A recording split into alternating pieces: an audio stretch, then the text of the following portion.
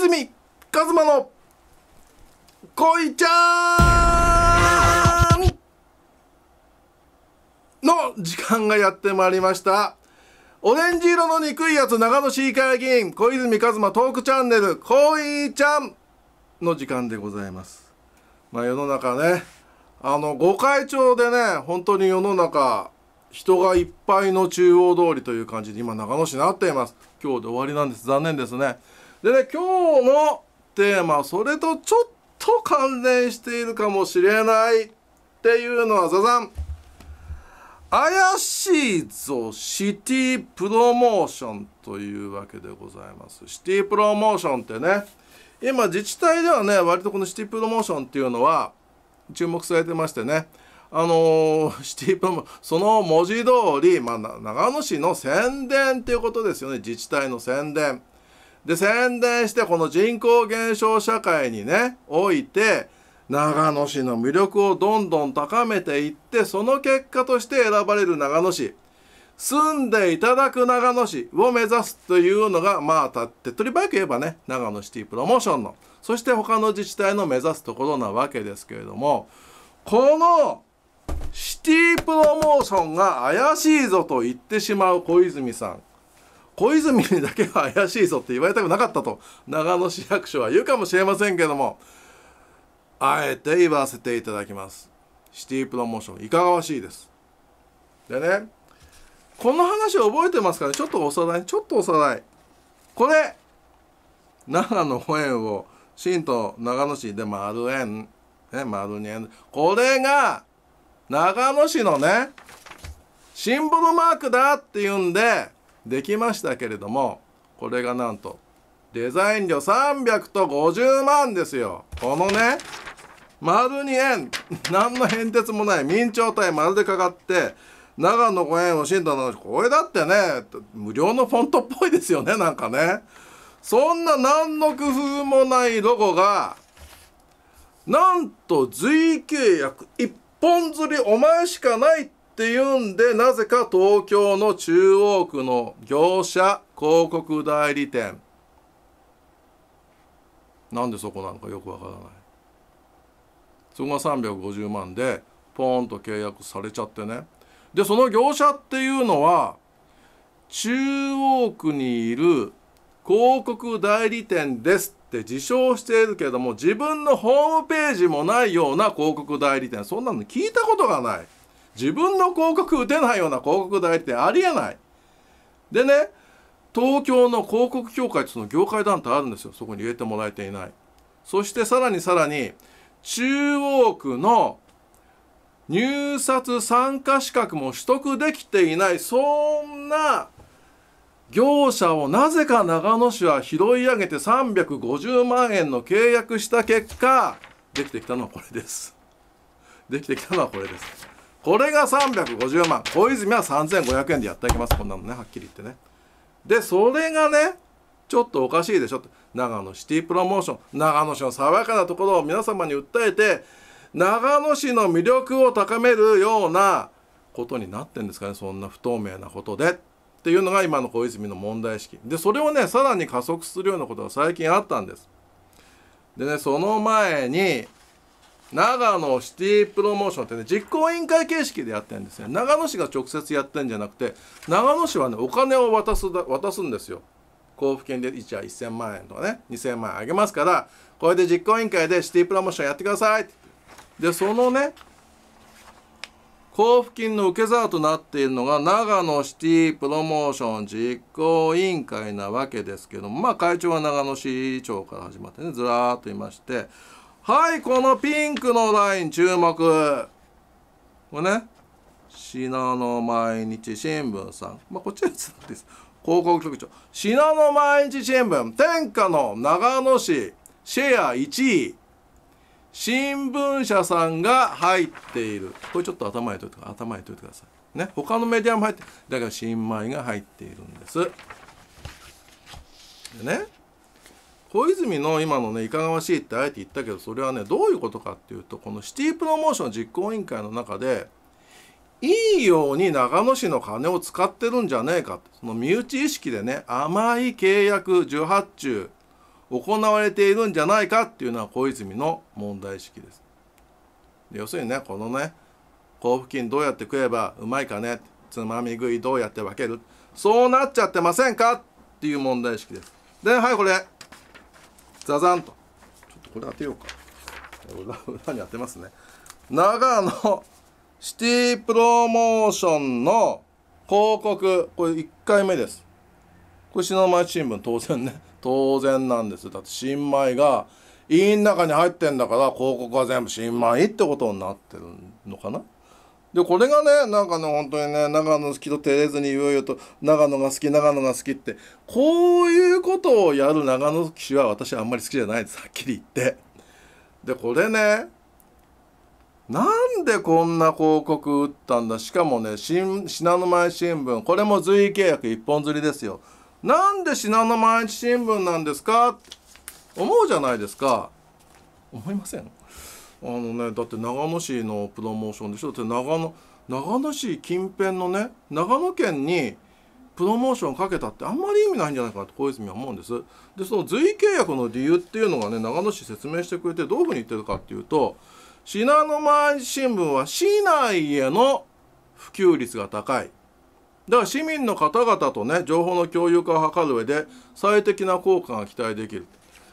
それを聞いて小泉はじゃあこれね金払ってうん百万払って新米にやるんじゃなくてこんなの広報長野に載せればいいじゃんって市民に対する広報ならね。そのために広報長野があるんだろって。言ったら「いやなんか新聞に載せたかったんです」って。なんかよくわかんないよね。自己満足。でその身内の新米を使ってあげたかったっていうそういう意識ありありなんですよね。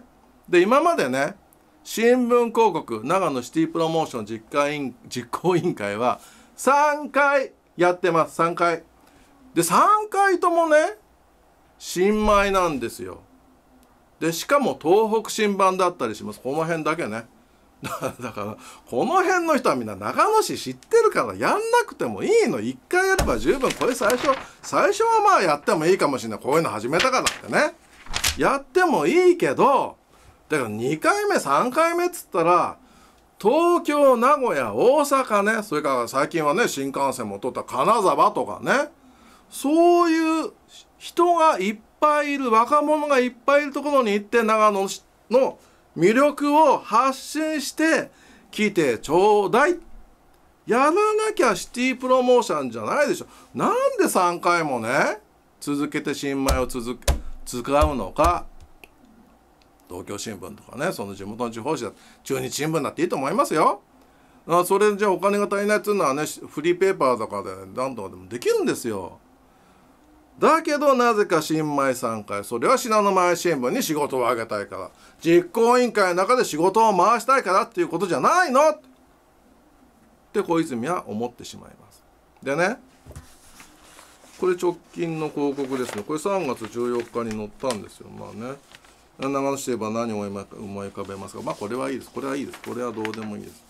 でねちょっとねここはあのピンクの掲載したこの辺ね。長野百景をモチーフにしたポストカードを配布します。多くの皆さんから応募いただいた中から選ばれた長野百景をモチーフに10枚ほどほどっていうのもなんかどことなんだろうね。10枚ほどポストカードを作り4月から市内の宿泊施設や観光案内施設等で配布します。ほどってどういうことだ役所の仕事ならちゃんとやれよってまず言いたいけどはいそれがねまあこのこの辺なんですよね。10枚ほどでございます。1枚2枚3枚まあこの辺はね紹介するにとどめますけど、まあ、こういう絵はがきをね作って無料で配る、まあ、これはねこれ自体はいい方法だと思います。最近あの東京とかねああいうところに行くとあのフリーのポストカードなんかこうラックに入ってね自由に持ってってくださいってそれが実は広告になってるなんていうそういうさりげない広告ありますよね。だからそういうのをいち早くいち早くっていうかまあもう週間ぐらいくらいだけど長野としてはあの結構いい方法でね取り入れたんかなっていいんじゃないって思ってたんですけどところがどっこいこれがね大問題なんですよ。これちょっとねはい、これ表面を拡大しましたってことなんですよ。これ。これねこれがこのこのポストカードのここやってるの。こうこうなってるんですよ。ここここまあここいいですか？ここね。長野市ってウェルカムズユーまあ長野市はあんたは歓迎してますよ。なんて文句英語でなぜか入れちゃって、まあ、この辺がね、って思ったりもしますけどまたちょっとずーっとしたパンしていただいて。でねここね。絵はがきです。まあそれは絵はがきなんですよ。で絵はがきですと。で切手を貼って使ってねって書いてあります。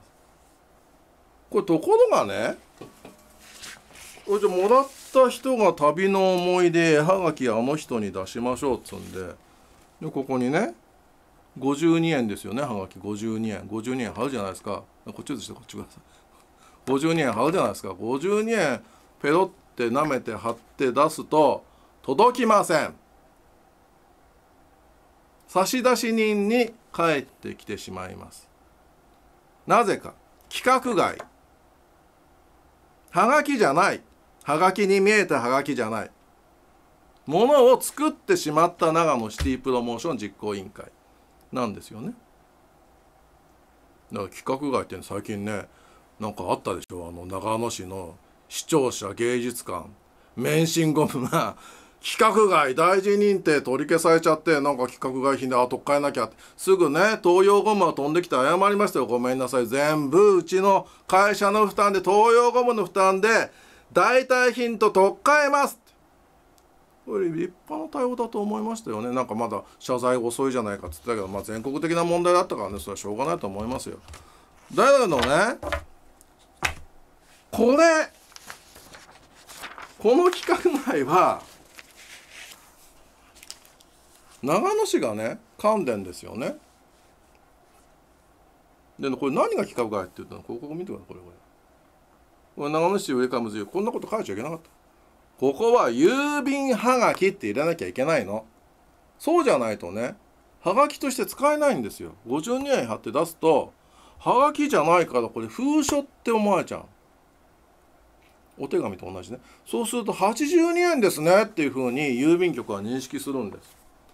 だから30円不足ですよって差出人戻しですよ。で差出人のね住所が書いてなかったらどうなるか。宛名の方に配達して宛名に当てた人から30人払って30円払ってちょうだいって請求いっちゃいます。もうプロモーションとしてはね長野市の印象を良くするどころじゃなくておい長野市の言った通りにこれ切手を貼って出してくださいっつが50年切手貼って絵はがきですっつって出したら郵便局は絵はがきじゃねえっつって戻しやがったぜって話なんですよ。で届いちゃったらね「おこれなんだよ長野市のこのハガキダメじゃねえか30円払されるはめになっちゃったよ」ってことになっちゃうものを長野シティプロモーション実行委員会は作ってしまった。でねそれを受注したのこれねまたね一本釣り随意契約で受注者は誰やろう？もう大体分かってきましたね皆さん。大体分かってきましたね。ポストカードを随契約で受注したここ。信濃毎日新聞。天下の新米なんですよ。で天下の新米がねあのー、そんなね中途半端な仕事をするってね小泉も信じられない。だって信濃毎日新聞ですよ。大信濃毎日新聞ですよ。そんなねだってあの郵便局行ってねこれでいいですよね。あいいですよってそれ確認取ればいい話じゃないですか。それもできない信濃毎日新聞なのか。そうじゃないと思います。信濃毎日新聞ねちゃんとしたところが持ってきた仕事なら緊張感持ってちゃんと仕上げたと思います。だけどねさっきから言ってますよね。怪しいぞ長野シティプロモーション。身内意識でやっちゃってんですよ仕事を。この仕事身内のどこに任せるかね随意契約。で新米さんだよね。だって印刷だもんみたいな感じでさやっちゃって。ほんでできてきた仕事はこれですよ。これじゃあね規格外品新米取っ換えるんですか？当然取っ換えるべきですよねこんなのね。取っ換えないんですよ。なんかこの辺にちょっと増し釣りして勘弁してくださいみたいなこと考えてるらしいんだけど。大甘でしょ？でね小泉はねこの長野シティプロモーションってねちょっと抜本的に発注の体制見直していただきたいと思う。だってねだだって遡ればねだってこれですよ。これこれそもそも350万っておかしいじゃないですか。そういう感覚でねずっとやってんですよ。もういい加減改めていただきたい。議会も黙っちゃいませんよ。議会は黙っていても小泉一馬は6月議会でちゃんと聞きますからね。なんでこんなことになっているのか。で市民の皆さんもね長野シティプロモーションなんかね非常に爽やかな横文字の語呂のね五感だけれどもやってることはどうなのか。よくよく見ていっていただきたいと思います。すいません。言い忘れましたので追加情報でございます。あのねさっきねこの長野シティウェルカムズユーがね郵便販機耐えてなくて規格外品だったっていうことなんですがこれ実はね小泉が最初に指摘しましてこれダメだろう。で回収しました。20万枚20万枚。回収しました。で事なきを得たっていうのがね実はそういう真相がある裏話があるんです。だけどねこれね書いてくれよって言っても分かってますね。新米は絶対書きません。はい以上追加インフォメーションでした。今日はここまで。